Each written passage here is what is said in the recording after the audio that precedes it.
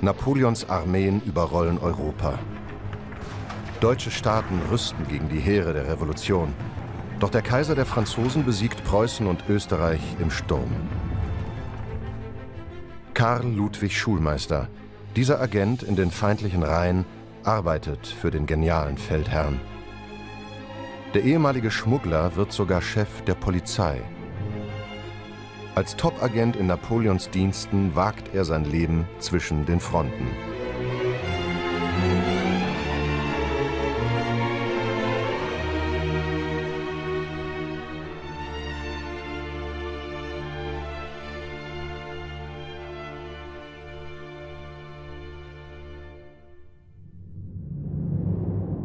Ulm 1805.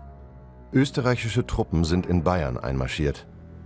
Sie warten auf russische Verstärkung, um gemeinsam Frankreich anzugreifen. Die österreichischen Generäle wissen nichts von den Truppenbewegungen der Franzosen im Westen. Moderne militärische Mittel gibt es noch nicht, um aufzuklären, wo genau der Feind steht. Doch dafür gibt es Spione. Ein Deutscher bietet seine Dienste an. Karl Ludwig Schulmeister. Er weiß angeblich genau, wo der Franzosenkaiser steht und wohin er als nächstes zieht. Solche geheimdienstlichen Informationen sind entscheidend, wenn man den Feind besiegen will. Schulmeister ist der richtige Mann am richtigen Ort zur richtigen Zeit. Die Österreicher fühlen sich sicher in Ulm. Sie vermuten, dass das Gros der französischen Truppen noch weit weg ist. Trotzdem kommen Schulmeisters Dienste nicht ungelegen.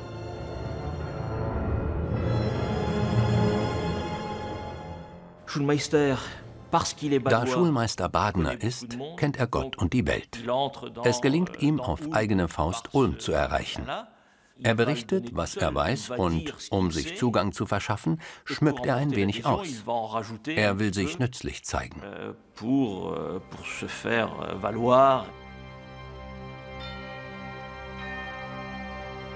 Schulmeister stammt aus Baden und lebt in Straßburg. Als Händler reist er durch viele Orte, spricht mit vielen Menschen. Er kann so ganz andere Berichte zusammenstellen, als es den Generälen mit den gängigen Mitteln dieser Zeit möglich ist. Auf der unteren Ebene gibt es, äh, ist die militärische Aufklärung im 18. Jahrhundert äh, im 19. und auch noch im 19. Jahrhundert dadurch gekennzeichnet, dass es äh, vorzugsweise sogenannte leichte Truppen gab also Husaren äh, oder ähm, Ulanen oder Chauleger, die ausgeschickt wurden, äh, vor den Truppen Aufklärung zu betreiben. Also was tut der Feind oder das Gelände zu erkunden. Also etwa, wo sind, wo sind die Straßen gut, wo sind sie schlecht, wo gibt es Brückenwege, wie ist das Gelände. Napoleons Armee hat Befehle bekommen, mit denen die Österreicher nicht rechnen. Im Norden soll die Grande Armee die Österreicher umgehen.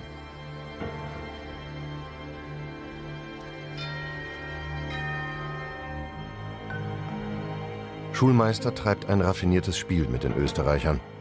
Er weist auf kleine Truppenkontingente südwestlich im Schwarzwald hin. Österreichische Späher bestätigen seine Berichte. Schulmeister wirkt glaubwürdig. Die Österreicher geben ihm Geld und stellen ihm Passierscheine aus, er soll die Franzosen weiter auskundschaften. Was sie nicht ahnen, Schulmeister geht direkt ins französische Lager zu Marschall Joachim Murat. Am 16. Oktober, vier Tage später, trifft er Murat. Er bringt ihm die Informationen über die österreichischen Truppenaufstellungen und kehrt heimlich nach Ulm zurück. Schulmeister war damals in geheimer Mission unterwegs, für die Franzosen und gegen seine deutschen Landsleute. Dokumente seines Wirkens finden sich noch heute im französischen Militärarchiv. Unter anderem eine detaillierte Aufstellung der österreichischen Armee, adressiert an den Kaiser der Franzosen persönlich, der in Augsburg stationiert war.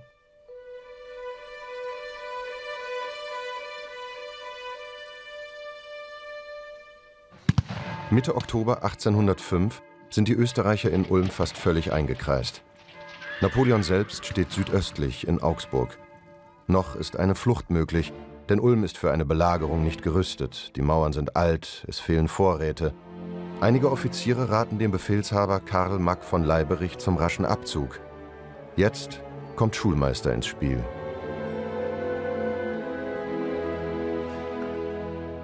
Die Informationen, die er Mack brachte, sollten Mack davon abbringen, Ulm zu verlassen und ihn dazu verleiten, seine Truppen in Ulm zusammenzuziehen.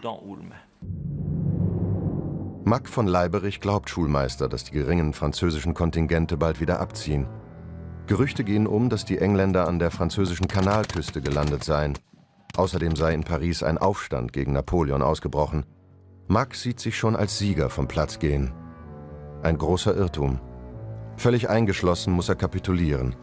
Zehntausende Österreicher gehen in Kriegsgefangenschaft. Ihre Ausrüstung fällt an die Franzosen.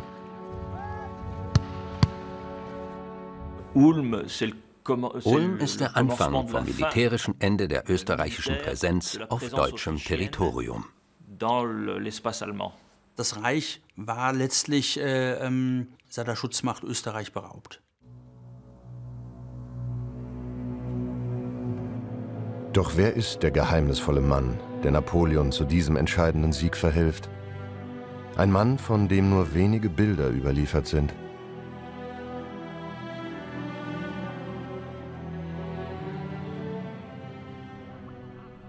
Karl Ludwig Schulmeister wird geboren im deutschen Neufreistädt am rechten Rheinufer, nicht weit von Straßburg. Er ist der sechste Sohn eines Pfarrers. Ein Leben, das in ruhigen Bahnen verläuft, scheint dem Pastorensohn vorherbestimmt. Weil der älteste Bruder die Pfarrei übernehmen soll, wird Karl Ludwig in fürstlichen Diensten untergebracht.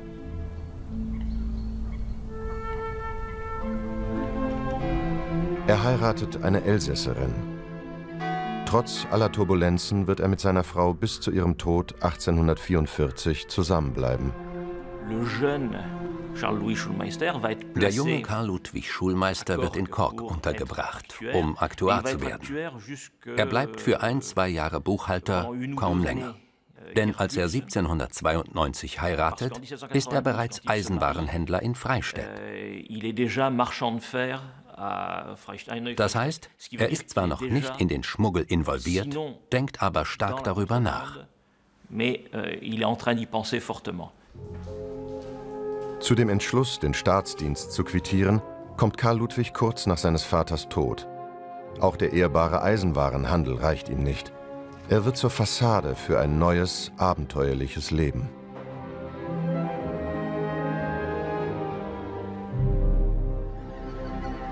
Der Rhein ist zu dieser Zeit noch nicht begradigt und in ein Bett gezwängt. Er ist ein wilder Fluss mit vielen Nebenarmen, zahllosen Inselchen und versteckten Furten. Was hier vorgeht, lässt sich kaum kontrollieren. Mit einem Wort, das ist das ideale Terrain für einen Schmuggler wie den Pastorensohn Schulmeister. Er ist in diesem Grenzgebiet aufgewachsen, hat Freunde und Verwandte rechts und links des Rheins. So helfen auch die elsässischen Verwandten seiner Frau bei Schulmeisters ersten verdeckten Aktionen. Die beiden Seiten des Rheins sind zu der Zeit noch sehr eng vernetzt. Das hat natürlich lang zurückreichende historische Wurzeln. Aber es hat auch seine Wurzeln in einem Handel über den Rhein hinweg, der sehr, sehr aktiv war. Und die gemeinsame Sprache hat natürlich die beiden Rheinseiten miteinander verbunden. Und insofern ist, sind die beiden äh, Ufer des Rheins eng miteinander vernetzt. Als hilfreich erweist sich auch die Mitgift, die seine Frau in die Ehe mitbringt. Mit ihrem Geld kann er seine Geschäfte im großen Stil aufziehen. Unterschiedliche Preise, vor allem aber unterschiedliche Steuersätze und Zölle sind der Boden, auf dem sein Metier gedeiht.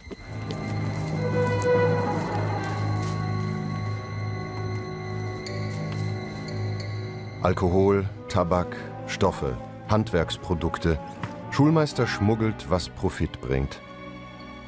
Seine gewinnende Art, sein charmantes Wesen knüpfen nützliche Beziehungen. Nach und nach baut er ein Netz von Informanten und Amtsträgern auf, die ihre Augen für ihn aufhalten – oder beide Augen zudrücken, ganz wie es ihm nützt. So macht man rasch Karriere.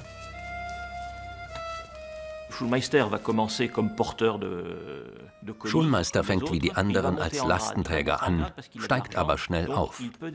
Er steigt auf, weil er das Geld dafür hat. Und so wird er früh Chef der Bande. Er kennt Gott und die Welt. Und da wird ihm klar, dass in der Welt herumzukommen wichtiger ist, als nur ein einfacher Chef einer Bande von Schmugglern zu sein. Er ist Unternehmer und vor allem ist er Versicherer des Schmuggels. Das heißt, er übernimmt für seine Truppe das Risiko beim Transport der Schmuggelware. Vor allem aber bezahlt er die Waren, die auf die andere Seite gebracht werden. Eine Tätigkeit vergleichbar mit der von Lloyd für die Schiffe.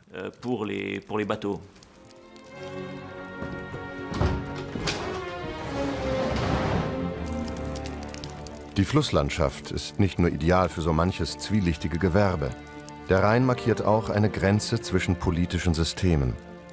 Die vielen großen und kleinen Fürstentümer des Heiligen Römischen Reiches deutscher Nation auf der einen, das zentralistisch regierte Frankreich auf der anderen Seite.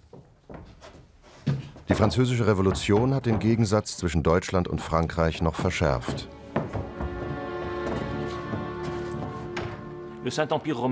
Das Heilige Römische Reich deutscher Nation erhob für Produkte wie Tabak, Eisen, Töpferwaren, Keramik weniger Steuern als das Königreich Frankreich.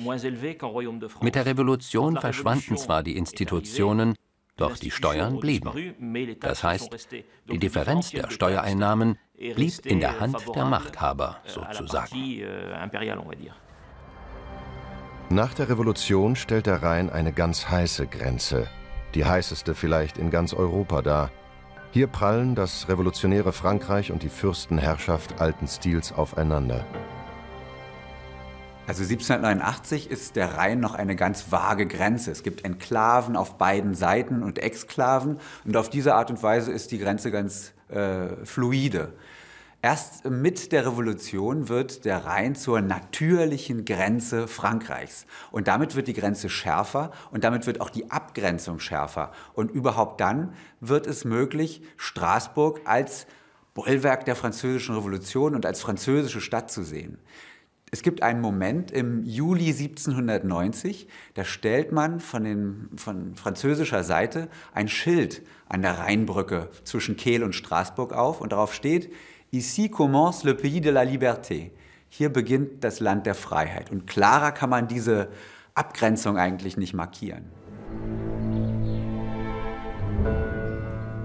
Der Freigeist Schulmeister zeigt offen Sympathien für dieses Land der Freiheit.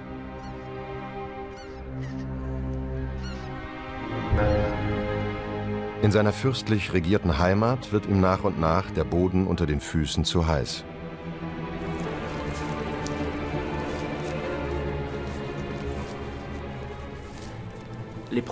Er bekommt zwei Probleme. Einerseits ist er ein erfolgreicher Schmuggler, das bereitet dem Dorf Neufreistedt Schwierigkeiten, man sieht das nicht gern. Vor allem aber arbeitet er mit den Franzosen zusammen. Im September 1797 lässt er sich in Straßburg nieder. Dazu muss er lediglich den Rhein überqueren. Schulmeisters neuer Wohnsitz, eine alte Reichsstadt im damals noch deutschsprachigen Elsass, ist ein Hotspot der französischen Revolution.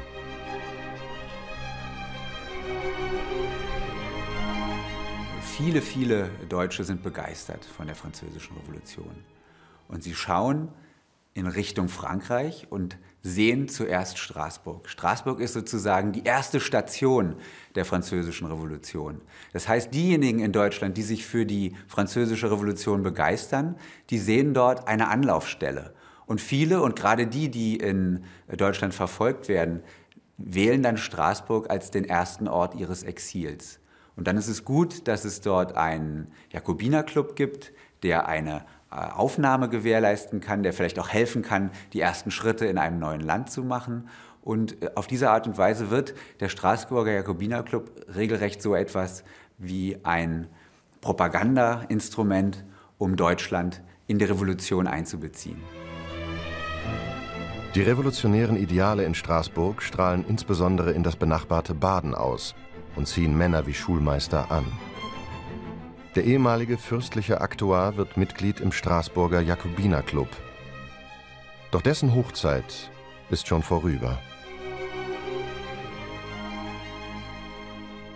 Er gehört zweifellos dem Club der Citoyen aktiv an, denn diese Jakobinerclubs werden von der französischen Armee gefördert, als sie im Begriff ist, Baden zu besetzen. In den Kriegen dieser Jahre kommt es immer wieder zu militärischen Zusammenstößen am Rhein. Das ist ein Glücksfall für Schulmeister, denn die französische Armee schätzt die Ortskenntnisse des Schmugglers. Schulmeister wird auserwählt, um der französischen Armee bei der Überquerung des Rheins zu helfen. Im Mai 1796 stehen die französischen Truppen am Rhein und suchen geeignete Übergänge zum anderen Ufer. Es gibt eine Brücke zwischen Straßburg und Kehl. Doch dort muss man mit Widerstand rechnen. Man kann also nicht ungehindert den Fluss überqueren. Das geht nur flussaufwärts. Schulmeisters neues Gewerbe ist nicht ohne Gefahr für ihn selbst. Die heimische Obrigkeit sieht in ihm jetzt einen Spion für den revolutionären Erzfeind im Westen. In einer Zeit, in der auch die Kartografie erstens militärisch war und zweitens sehr unvollständig, müssen wir uns auch vorstellen, dass man den normalen Weg nicht ohne weiteres findet, um, um Truppen zu bewegen. Also wurden dort zivile Boten eingesetzt, die teilweise gegen Trinkgeld, teilweise wirklich mit, mit, mit der Drohung, das, das Haus oder das Dorf anzuzünden, äh, gezwungen wurden, den Weg zu zeigen. Dabei ist natürlich breite, ein breiter Spielraum zwischen äh, denen, die frei, sich freiwillig zur Verfügung stellen, denjenigen, die es müssen, denjenigen, die es müssen und trotzdem äh, reichhaltig vergütet werden und denen, die die Möglichkeit haben, vorzugeben, dass sie gezwungen werden, obwohl sie es vielleicht zwei freiwillig tun. Ob aus Geldgier oder aus Überzeugung für die freiheitlichen bürgerlichen Ideale der Revolution. Schulmeister hilft den Franzosen bei der Rheinüberquerung. Und damit beginnt seine Karriere als französischer 007. Schulmeister ist der ideale Kandidat für die französische Spionage. Er willigt ein, ob notgedrungen und unter Druck oder aus Sympathie lässt sich noch nicht sagen.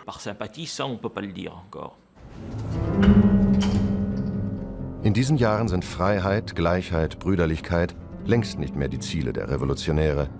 Die Zeit ist vorüber, in der radikale Jakobiner mit der Guillotine allen anderen die Marschrichtung diktieren – die Jakobiner, auch die in Straßburg, werden nur noch geduldet.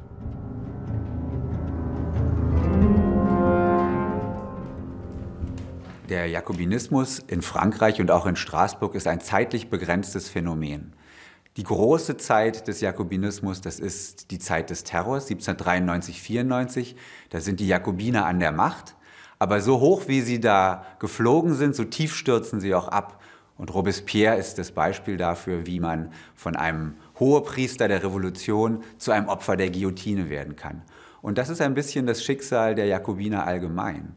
Äh, die meisten Clubs werden 1794, 1795 geschlossen. Und ähm, es gibt sogar Verfolgungen von ehemaligen Jakobinern. Die hat man nämlich damals als Terrorist bezeichnet, als diejenigen, die den Terror äh, veranstaltet haben. Auch nach dem Ende des Terrors bleiben es unsichere Zeiten.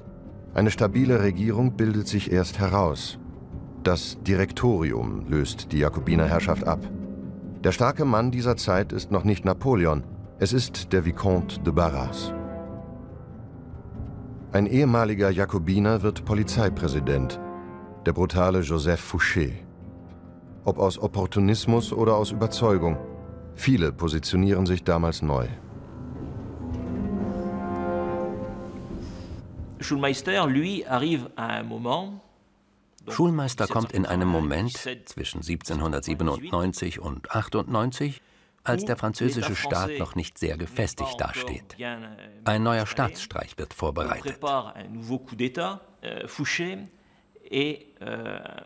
Fouché ist ein Agent von Barras, also dem Drahtzieher beim Staatsstreich von 1797, der anschließend der erste Direktor im Fünferkollegium sein wird. Euh, euh,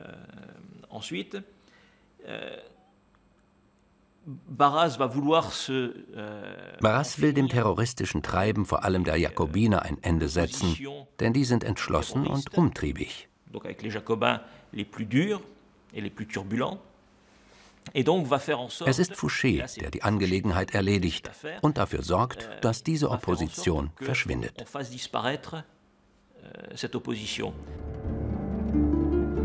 Schulmeister erkennt die Zeichen der Zeit. Bei der Auflösung des Jakobinerclubs in Straßburg spielt er eine zwielichtige Rolle.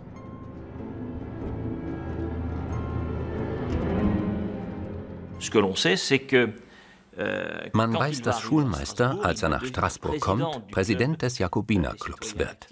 Seine Rolle ist nicht ganz klar, aber es ist sicher, dass Schulmeister eingesetzt wird, um den Club aufzulösen. Es steht fest, dass am 16. März 1797 der Club der Citoyens in Straßburg verschwindet.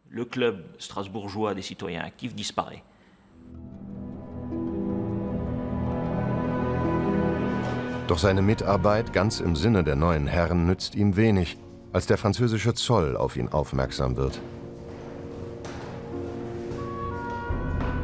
Aus dem Vermögen seiner Frau muss er Strafe zahlen, um einer längeren Haft zu entgehen.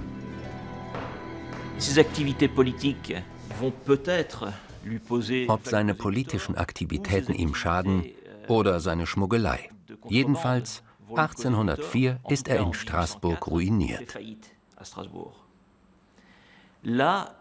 Im Mai 1805 kommen seine Aktivitäten vor das Zollgericht.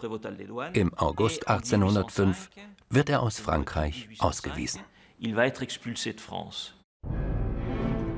Da muss es ihm wie eine glückliche Fügung des Schicksals erscheinen, dass ein neuer Krieg ansteht.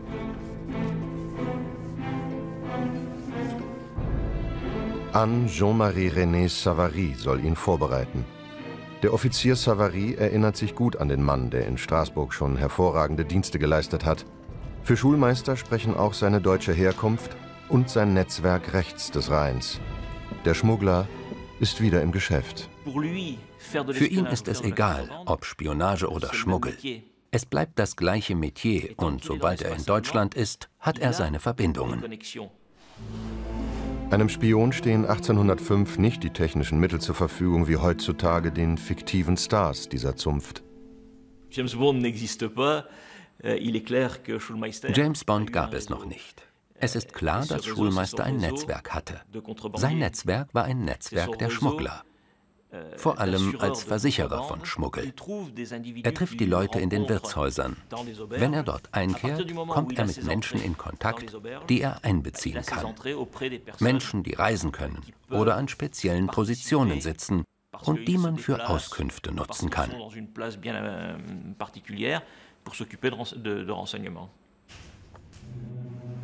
Wirtshäuser werden seine konspirativen Treffpunkte. Hier wirbt er seine informellen Mitarbeiter an. Hier besticht er und verhandelt er. Hier gibt er vertrauliche Informationen an seine Helfer weiter.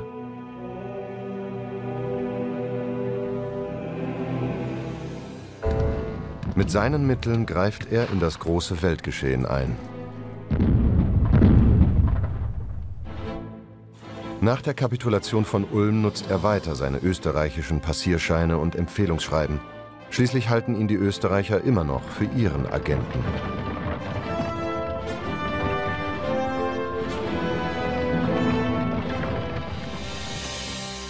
Das ermöglicht es ihm, sich ungehindert zwischen den österreichischen Kontingenten zu bewegen. Ja, Schulmeister berät sogar deren Generalstäbe in taktischen Fragen.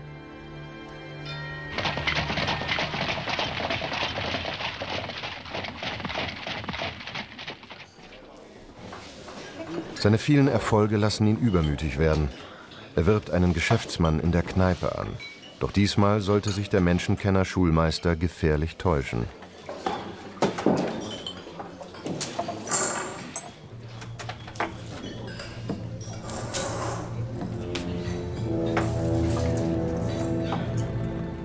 Sein neuer informeller Mitarbeiter wendet sich direkt an die Österreicher. Schulmeister wird verhaftet. Auf Gnade kann er jetzt nicht hoffen.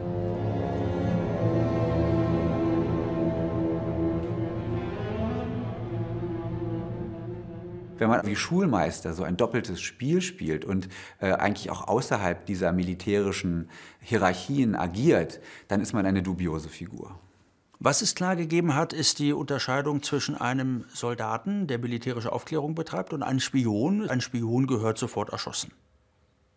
Und das war die, die permanente Bedrohung. Eine standrechtliche Erschießung bleibt ihm vorerst erspart. Die Franzosen rücken immer näher, doch der Militärstaatsanwalt will ihn verhören. Ist Schulmeister ein Doppelspion? Für wen arbeitet er wirklich? Wer gehört zu seinem Netzwerk? Schulmeister wird von einem Trupp Soldaten nach Böhmen transportiert. Als ihnen französische Truppen bedrohlich nahe sind, verprügeln die Männer ihren prominenten Gefangenen, rauben ihn aus und lassen ihn liegen. Als Landstreicher schlägt sich Schulmeister nach Wien durch. Es steht in diesen Tagen unter der Verwaltung des französischen Militärs, das nach dem Sieg von Ulm ungehindert bis in die Hauptstadt durchmarschieren konnte.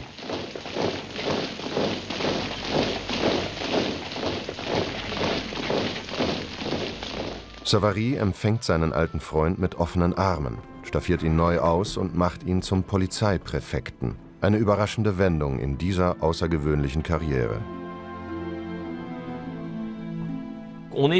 Man ist sich sicher, im richtigen Moment einen geeigneten Vermittler gefunden zu haben. Savary hat ihn eingesetzt, aber nicht für die Spionage. Er soll sich um die öffentliche Sicherheit kümmern. Natürlich gehört zu seiner Arbeit für die öffentliche Sicherheit die Gegenspionage. Schulmeister lässt Lebensmittel an die Bevölkerung verteilen, die unter dem Zusammenbruch der österreichischen Verwaltung leidet. Man ist in einer Stadt, die alle Beamten verloren hat, euh, administrativ, politisch wie auch polizeilich. Also müssen die Franzosen nach ihrer Ankunft zuerst die Versorgung und die öffentliche Ordnung wieder sicherstellen, um zu verhindern, dass es zu einer Rebellion kommt, was sie zwingen würde, ihre Truppen in Wien zu binden. Die Wiener finden in ihren Buchhandlungen bald ungewohnte Lektüre. Karl Ludwig Schulmeister, der badische Freigeist, entsinnt sich in seinem neuen Amt der alten antifürstlichen Ideale. Der neue Polizeipräfekt lässt nämlich die philosophischen Schriften der Aufklärung drucken, die die Habsburger verboten hatten. Nach dem Friedensschluss 1805 wird Wien geräumt. Schulmeister will nach Frankreich zurück. Eine üppige Belohnung wartet dort auf ihn. Er ist jetzt einer der vielen Glücksritter des napoleonischen Kaiserreichs, das die Revolution beerbt hat. Man kann fast sagen, das Empire war der Staat der Parvenus, der Aufsteiger. Napoleon selber war ein Aufsteiger. Einige seiner äh, äh, engsten Mitstreiter waren Aufsteiger. Man denke als Fouché, der seine Laufbahn als Physiklehrer begonnen hatte und dann äh, Polizeiminister geworden war. Alles äh, Menschen, die sozusagen vom unteren Rand der Gesellschaft nach ganz oben gekommen waren. Und so stand das Empire auch für Aufstiegschancen. Am meisten natürlich im Militär. Wenn man als Offizier begabt war, konnte man es unter Napoleon bis ganz nach oben bringen. Im Staatsapparat, der durch die Revolution immer wieder gereinigt worden war, sind viele Stellen frei geworden und die sogenannten Notabeln waren eine neue Elite. Und schließlich hat Napoleon einen neuen Adel gegründet, Noblesse d'Empire. Zu dieser Elite gehört der reiche Pastorensohn und Eisenwarenhändler nun, der zu seiner Frau zurückkehrt in seine Wahlheimat Straßburg. Im Vorort Mainau kauft er ein Schloss als standesgemäße Immobilie. Der prunkvolle Bau soll seinen Mitbürgern zeigen, dass er es zu etwas gebracht hat. Über die Herkunft seiner Mittel schweigt er sich aus. Schulmeister bemüht sich, die Herkunft seines Vermögens zu verschleiern. Er sagt nicht, dass es aus der Spionage stammt, sondern aus seiner Arbeit für die Polizei. Dort in der Stadt ist das ein Affront gegen die ehrliche Arbeit. So die öffentliche Meinung. Versagt bleibt ihm die öffentliche Anerkennung, etwa durch das Kreuz der Ehrenlegion oder vielleicht einen Adelstitel. Napoleon hat die Republik in eine Monarchie verwandelt. 1804 krönt er sich selber zum Kaiser. Die Revolution hatte den Hof abgeschafft, aber Napoleon schafft ihn wieder an. 2200 Adelstitel hat Napoleon verliehen und er hat ein neues Zeremoniell geschaffen und das sind natürlich äh, Ehrenposten in diesem neuen Regime. Was aber diesen neuen Adel unterscheidet vom alten Adel, ist, dass es nicht mehr um die Herkunft geht, sondern um den Verdienst. Und diese Veränderung, diese meritokratische Elite, die ist ganz entscheidend.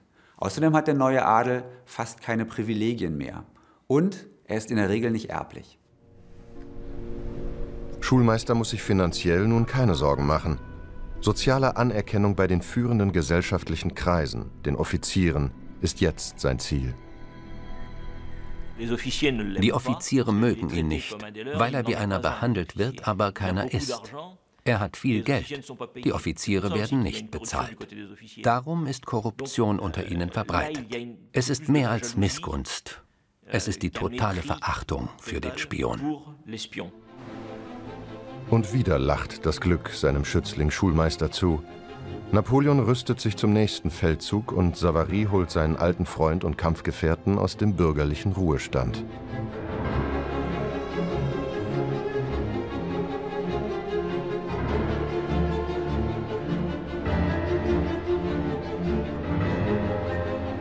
Schulmeister wird gegen Preußen gebraucht.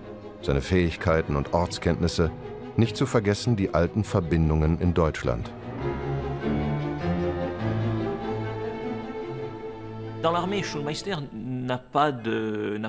In der Armee hat Schulmeister offenbar keine Probleme, da man ihn am Feldzug von 1807 beteiligt sieht. Er kämpft und reitet mit der leichten Kavallerie, euh, die die Aufgabe hat, den geeigneten Weg für die Armee auszukundschaften. Euh, Selbst bei der Truppe trägt Schulmeister zivil. In eine Uniform muss er sich niemals zwängen. Sein eigentlicher Auftrag ist die Verwaltung der eroberten Gebiete. In angespannten Zeiten ist Ordnung gefragt. Hinter den Truppen darf kein Aufstand ausbrechen. Und der Krieg muss den Krieg ernähren.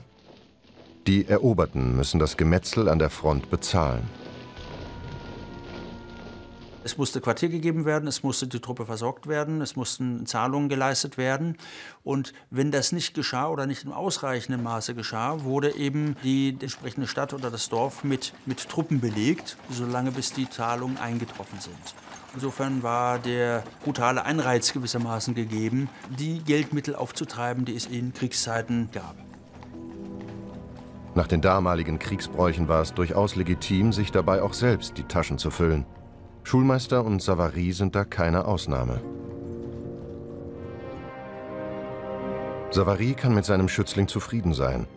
Ein besonderes Husarenstück wird Schulmeister bei der Eroberung Wismars nachgesagt – Während eine preußische Truppe vor der Stadt lagert, galoppiert Schulmeister mit wenigen Reitern durch die Tore und verschließt sie gleich. Den Preußen gaukelt er erfolgreich vor, ein großes Kontingent Franzosen sei auf dem Anmarsch. Die verschreckten Preußen ergeben sich, einem kleinen Trupp Franzosen. Der Krieg gegen Preußen endet 1807 mit einer völligen Niederlage für Schulmeisters deutsche Landsleute. Preußen muss sich Napoleon unterwerfen.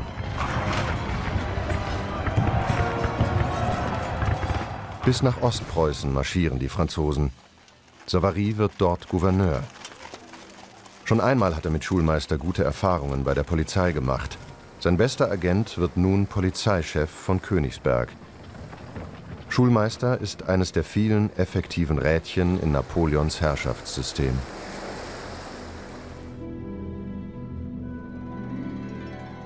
Also man muss sich vorstellen, dass äh, äh, dieser napoleonische Staat wirklich ein Polizeistaat ist. Das heißt, von der Spitze her wird systematisch auf Informationsbeschaffung gesetzt.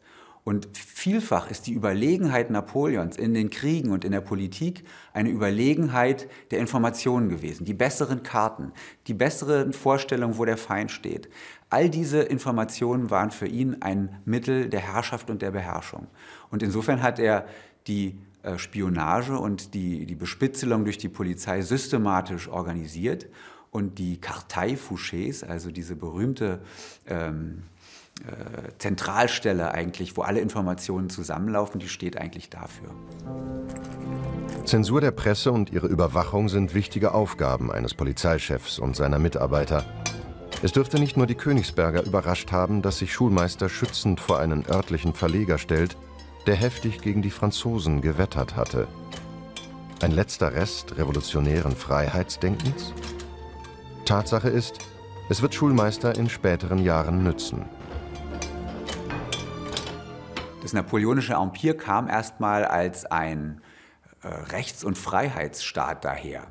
Wenn man dann aber in die Realitäten guckte, dann war es natürlich etwas anders. Äh, erstmal war es ja keine Republik mehr bald, sondern ab 1804 ein Kaiserreich. Und die verschiedenen Vasallenstaaten wurden auch in Monarchien umgewandelt. Die hatten zwar Verfassungen, die hatten zum Teil auch den Code Zivil und damit also moderne freiheitliche Elemente, aber wenn man dann darauf schaut, was Napoleon von diesen Vasallenstaaten wirklich wollte, dann waren es vor allen Dingen zwei Dinge, Abgaben und Soldaten. Und diese beiden Dinge haben die Bevölkerung viel, viel mehr belastet, als sie die Verfassung und der Code Zivil erfreut haben. Napoleon gestaltet Deutschland radikal um. Den Flickenteppich kleiner und kleinster Fürstentümer gibt es bald nicht mehr. Im Herbst 1808 lädt Napoleon die Regenten in seinem Herrschaftsbereich sowie den russischen Zaren zum Fürstenkongress nach Erfurt ein. Im Volk regt sich Widerstand. Napoleon fürchtet Attentate national gesinnter Kreise. Und so ist Schulmeister nicht nur für die Unterbringung, sondern auch für die Sicherheit der Teilnehmer verantwortlich. Seine angenehmen Umgangsformen und seine Erfahrungen in der Polizeiarbeit empfehlen ihn dafür.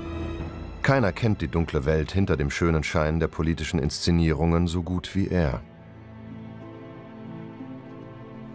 Der Pastorensohn ist ganz nah dran, an den Mächtigen und weniger Mächtigen in Napoleons Umfeld.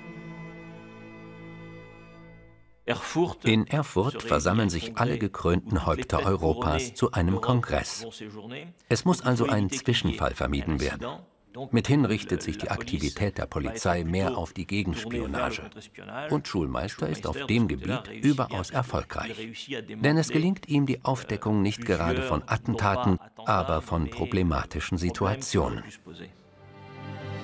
Die nationalistischen Ideen, die potenzielle Attentäter umtreiben, sind ein Import aus Frankreich.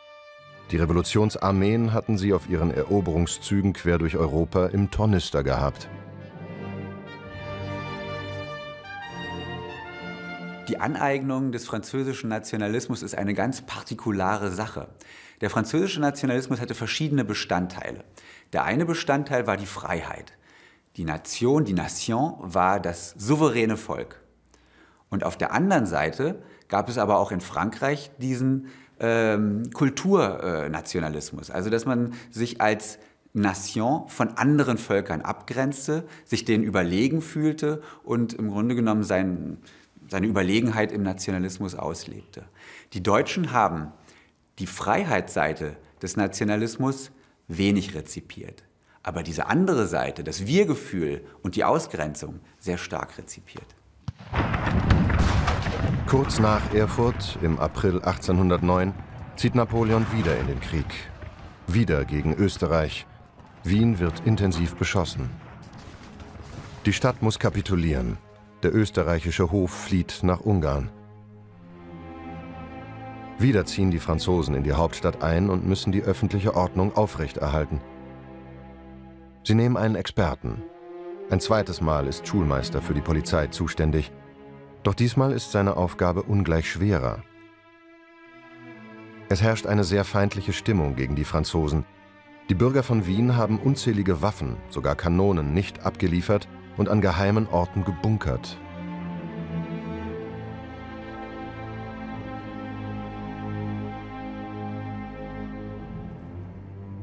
Patriotische Schwärmer planen Attentate. Doch der einstige Schmuggler weiß genau, wo man was verstecken könnte.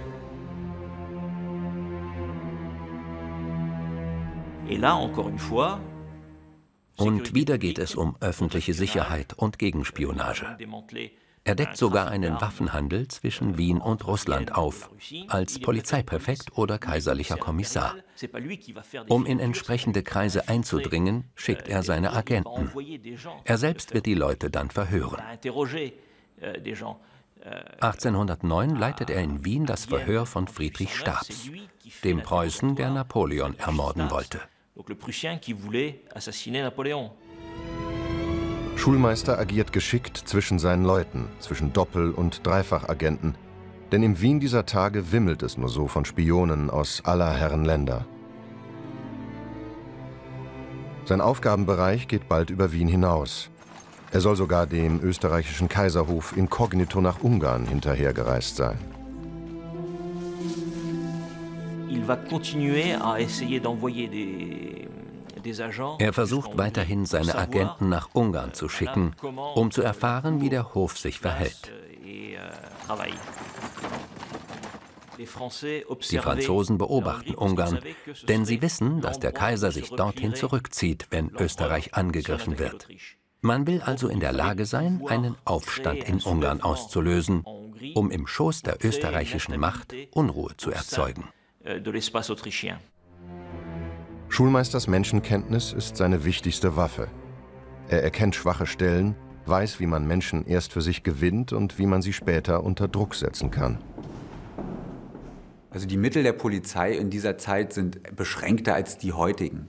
Aber natürlich kann man die Kreise, die man für gefährlich hält, auch mit so V-Männern infiltrieren. Also man kann äh, Kontakte aufbauen in die gefährlichen Milieus. Man kann die Schriften, alles was publiziert wird, genauestens angucken und auswerten.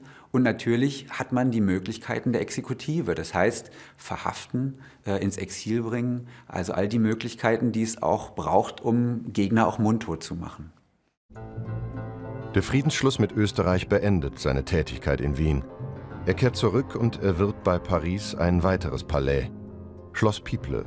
Dort will er Ruhm und Reichtum genießen.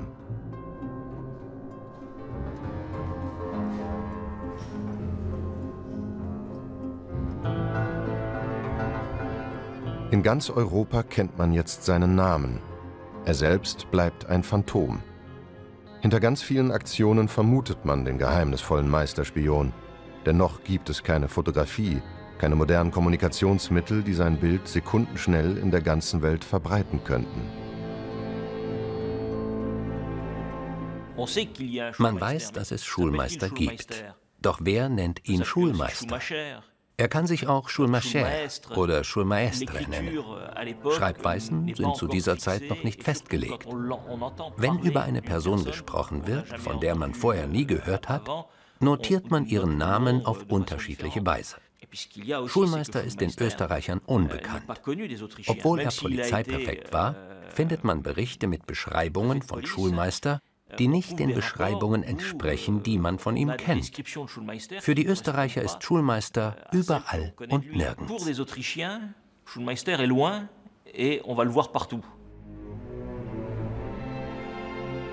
Das wird ihm auch bei seinem nächsten Auftrag hilfreich sein. Fouché muss abtreten, weil er hinter Napoleons Rücken intrigiert. Neuer Polizeiminister wird Napoleons Günstling Savary. Und Savary schickt seinen Schützling Karl Ludwig nach Hamburg, das von den Franzosen annektiert wurde. Napoleon hat zwar ein Handelsembargo gegen Großbritannien verfügt, doch die Hamburger widersetzen sich der Kontinentalsperre und treiben heimlich weiter Handel.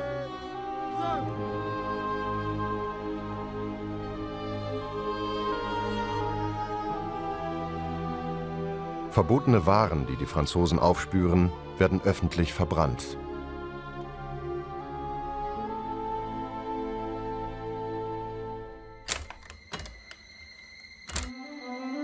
Besonders trickreich, Savary lässt falsche Pfundnoten drucken, die Schulmeister übergeben werden.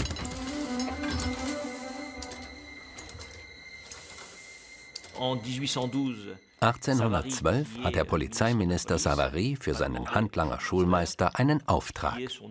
Demnach begibt sich Schulmeister nach Hamburg. Er kennt Hamburg, denn er war zwischen 1805 und 1809 dort. Er kennt Händler, denen er falsche Pfundnoten übergeben kann, die auf der anderen Seite des Kanals ausgegeben werden sollen.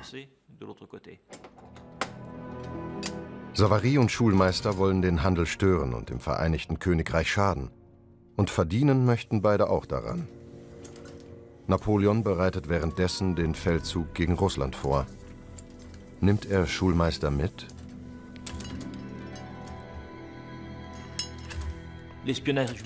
Militärspionage ist zeitlich begrenzt.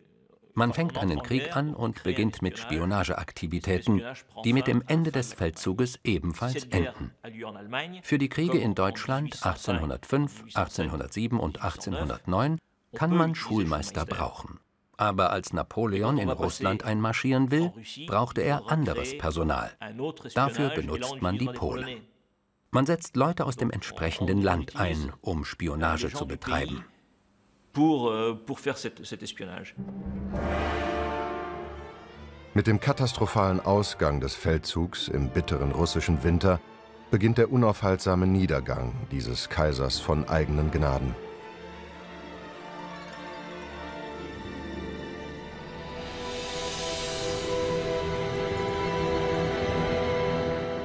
Am Ende dieses Krieges marschieren Preußen, Russen und Österreicher in die französische Hauptstadt ein und stellen die Herrschaft des alten Königshauses der Bourbonen wieder her, das von der Revolution hinweggefegt wurde.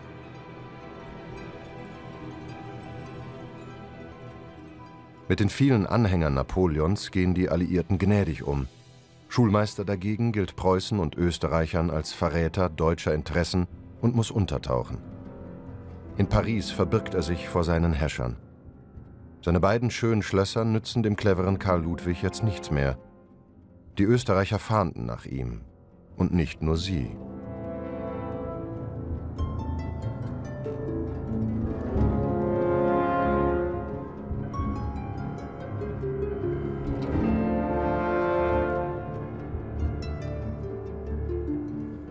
Ulm, Wien, Wismar, Königsberg und Hamburg.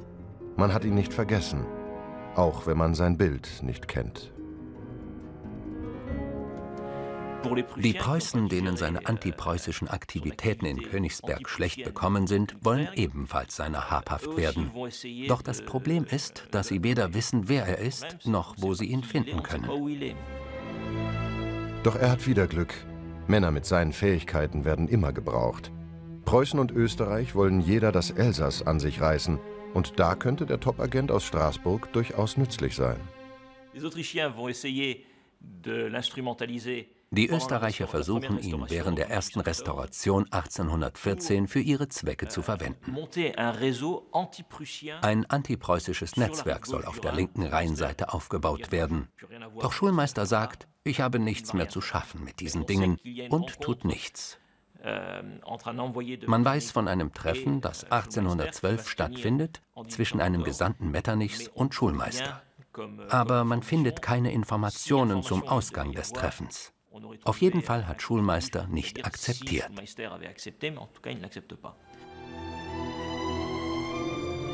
Die Österreicher wollen Schulmeister anwerben, die Preußen ihn einsperren. Seine Schlösser werden von preußischen Soldaten verwüstet. Sein ganzer Reichtum ist in Gefahr.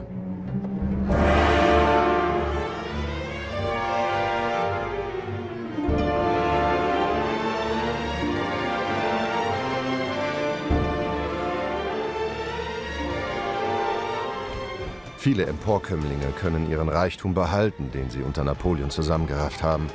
Und es gibt viele Opportunisten, die auch unter der neuen Herrschaft wieder in Amt und Würden sind. Karl Ludwig Schulmeister dagegen droht alles zu verlieren. Seine Förderer können ihn nicht mehr schützen. Werden er und seine Familie im Elend enden?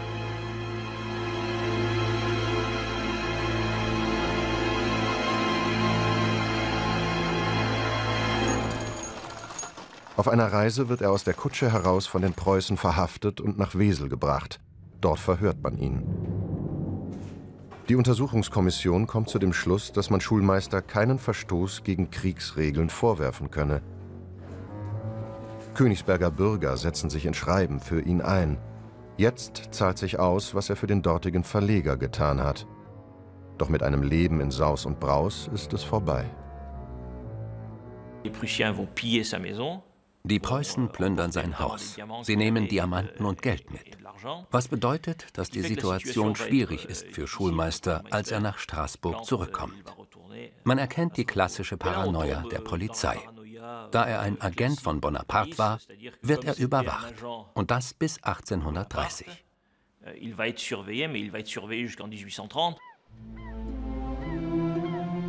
Schulmeister hat alles verloren. Zurückgezogen lebt er in seiner Wahlheimat Straßburg.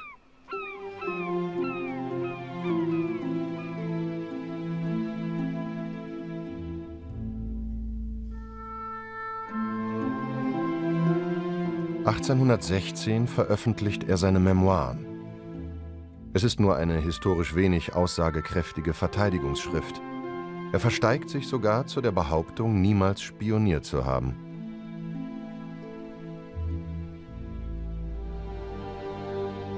Hochbetagt stirbt er 1853, wird in Straßburg zu Grabe getragen. An Napoleons deutschen 007 erinnern heute in Straßburg ein Park und eine Straße. Kommende Jahrzehnte werden in ihm mal den Helden, mal den Verräter sehen. Ganz nach Bedarf. Ist er ein Doppelagent? Ein französischer Spion? Ist er ein Verräter? Man streitet lebhaft während der deutsch-französischen Krisen und Kriege zwischen 1810 und 1914. Es gibt eine Konkurrenz der Erinnerungen an Schulmeister, die in erster Linie eine französisch-deutsche Konkurrenz ist. Schulmeister ist ein außerordentlicher Glücksfall für alle, die zeigen wollen, dass er zur einen oder anderen Seite gehörte. Denn so kann man einen Helden aus ihm machen. Das französische Fernsehen entdeckt diese wichtige, aber auch charakteristische Figur der napoleonischen Kriege in den 70er Jahren. Karl Ludwig Schulmeister wird zur Hauptfigur einer populären Abenteuerserie. Dokumente zeichnen ein differenzierteres Bild. Karl Ludwig Schulmeister lebte in einer Epoche, in der der Gedanke der Nation erst im Entstehen war. Eine Epoche, in der die Ideen der französischen Revolution viele kluge Köpfe begeisterten. Schulmeister schlug sich auf die Seite dieser Revolution. Ob aus Überzeugung oder aus Karrierestreben, wer weiß das schon. Karl Ludwig Schulmeister ergriff die Chancen tatkräftig, die eine Umbruchszeit denen bietet, die sie zu erkennen und zu nutzen wissen. Mit Napoleon stieg er auf, mit Napoleon waren Reichtum, Ruhm, Karriere auch beendet.